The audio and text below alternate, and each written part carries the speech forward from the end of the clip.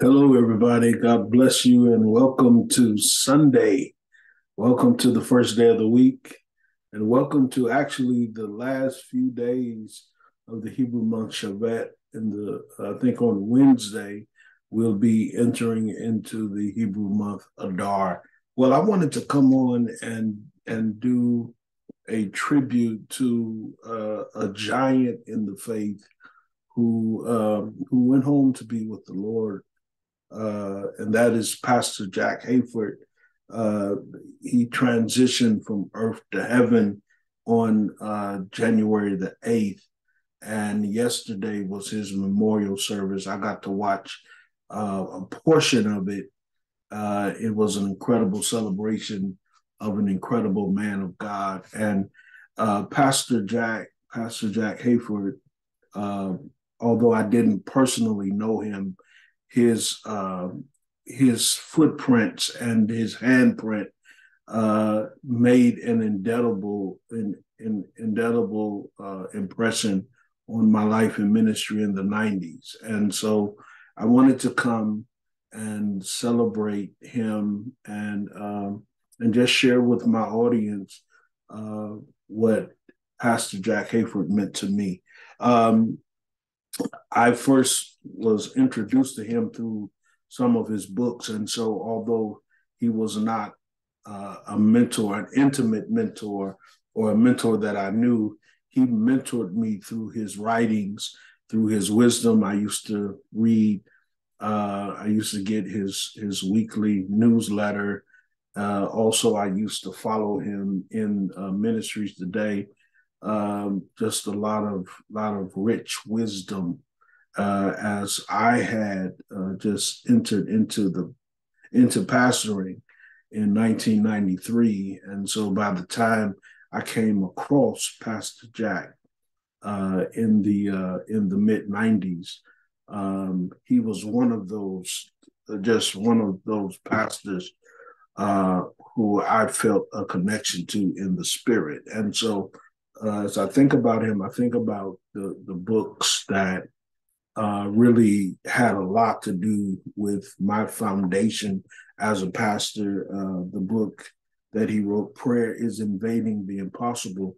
And um, prayer was actually the, the uh, that was the pastoral thrust. That was the the push on me to develop a congregation of, of praying people. And and it, it was quite successful. We, had some incredible prayer gatherings at the church that I was at in Virginia uh, on Tuesday nights. I'll never forget the children that used to gather to pray. Many of those children are now adults who are leading uh, in churches in Virginia and North Carolina. And so there was a lot of food, but uh, but the book "Prayer is Invading the Impossible" was one of those books that the Lord used in order to bring me into an understanding and the stewardship of prayer, and how prayer is so effective uh, when when it is is used correctly. Uh, another one of his one of his books was uh, uh he did a series on pastors of promise I don't know how far he got in that series, but I did I did purchase the, the first book and I leaned heavily. That was one of the books that I read yearly. And I really um, poured the principles. I'll never forget the exposition that Pastor Jack did on Abraham out of that book, Pastors of Promise and he talked about the faithfulness and the fruitfulness of Abraham and the promises of God, and um, and those were some some my pastor those were some dark days for me, but that was a that was one of those books, Pastors of Promise, pointing to character and to hope, and um, and so that was just another way that Pastor Jack mentored me. And. Uh, then um, some somewhere in the 90s, uh, he began to gather pastors at his church, uh, the church in Van Nuys, uh, California, Church on the Way. And it was a dream of mine to to go to one of those gatherings. I think he was doing it three to four times a year. It was a small group of pastors. Um, I was never able to go because I couldn't afford it, but uh, that was a that was a dream of mine to actually sit in his presence for about three or four days and to just glean from his wisdom and his experience. And so and so, Pastor Jack, as I look at his legacy, he was a builder.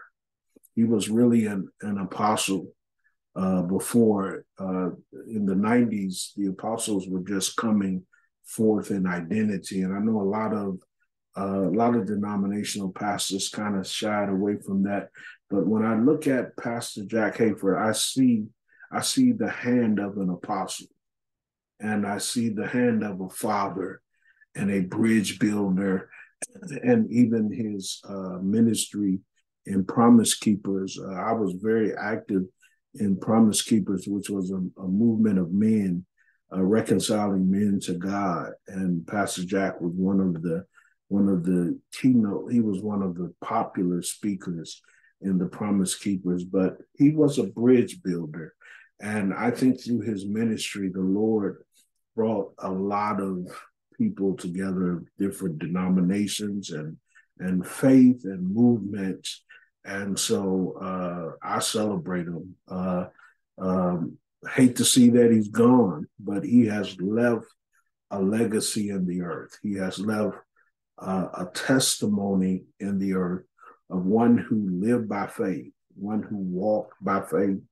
And in the 90s, I was in a traditional church that uh, that sort of shied away from the things of the spirit. And Pastor Jack was one of those fellows who was not, uh, he was not pushy. He was not arrogant in his beliefs in the spirit. And so, and so he made, he made his beliefs and his practice, he made it comfortable to, to young pastors like myself who didn't understand how Holy Spirit moved fully. I was coming into that, but I was in the 90s, I was very traditional, very fundamental and conservative. And and um, and I walked into things that the denomination I was a part of believed in. We didn't believe in speaking in tongues, praying in the spirit. We didn't believe in prophesying or prophecy. Uh, uh, we didn't believe in women in ministry. And so I I embraced those things. We didn't believe in the five gifts that Jesus gave, the apostle, prophet, teacher, evangelist, and pastor. And so that was my belief. But the Lord was using men like Pastor Jake, Jack, Jack Hayford to bring me out of that, out of that religion out of those religious beliefs and out of those traditional mindsets. And so he was one of the first. So when I came to know uh, Holy Spirit in the 21st century, and I began to move in the things of the Spirit, uh, I can look back at Pastor Jack Hayford as one of the first that spoke into my life and showed me a greater way in Jesus. So we honor his life, we honor his legacy, and we say, Well done, man of God.